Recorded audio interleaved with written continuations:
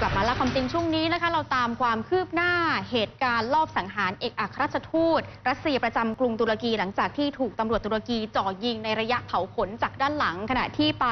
ร่วมงานภาพถ่ายที่ศูนย์ศิลปะกลางเมืองหลวง เมื่อคืนวันจันทร์ที่ผ่านมาค่ะ มีความคืบหน้าในประเด็นนี้นะคะ โดยสำนักข่าวอนาโดลูของทางการตุรกีก็รายงานว่า